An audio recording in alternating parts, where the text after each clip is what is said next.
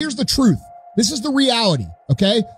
Nobody's going to believe in you until you've already done it. Nobody's going to come and celebrate with you until you've already done it. The work is going to come before the belief, which means you're going to have to work for a long fucking time by yourself with no applause, with no awards, with nobody telling you good job.